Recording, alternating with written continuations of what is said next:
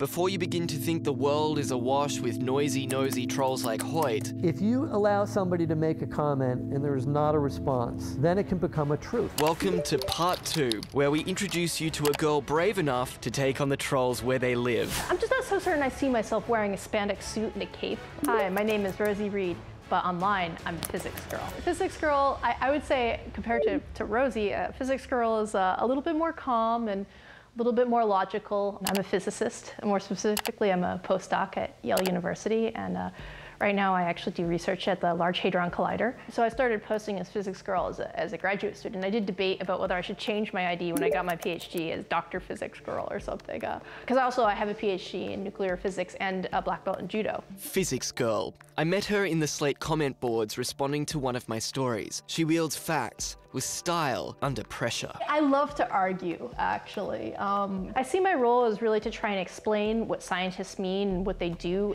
These people who believe that scientists are conformists don't actually know any scientists. As I got deeper into science, I realized how truly little most people know about science, the scientific process.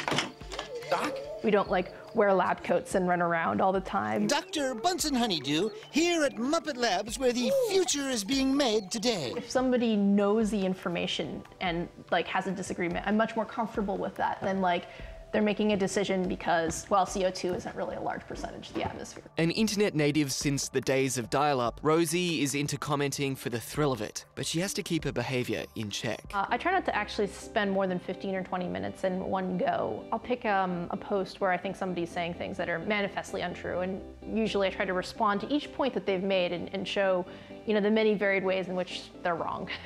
this is this guy here, P. P. Mason, has made like a particular thing you see a lot, and this is this idea that over the last 16 years, there hasn't been any warming. Usually they make wrong assumption after wrong assumption after wrong assumption. And they said, okay, the average temperature is not lower now. And so this guy actually even more than claiming the 16 year, you know, flattening said it was lower. You know, I don't think that the people who comment on these, even the people I, I vehemently disagree with, are stupid. Rosi says the internet is partly responsible for making everyone feel like a climate change expert. It's sort of funny because as the science has become more and more certain, I feel like there's more and more people who are just like, I don't believe that. But I don't think it's uphill. I mean, unfortunately, the reason I don't think is is uphill is that inevitably the the results are going to be just so obvious. Absolute belief in anything is dangerous, whether religion or climate science, and the danger in that is intensified when paraded as either. Now, I found this comment particularly amusing because he says absolute belief in anything is dangerous. I absolutely believe climate change is not happening. Is basically what, what he came from. So, what happens when we introduce Physics Girl to Hoyt Connell? You're assuming something that's that may or may not be true, and you're not asking for proof. I'm not against research. I'm okay with research. Find out next in part three, where we take the debate out of the message boards and the Twitter feeds into an actual dialogue.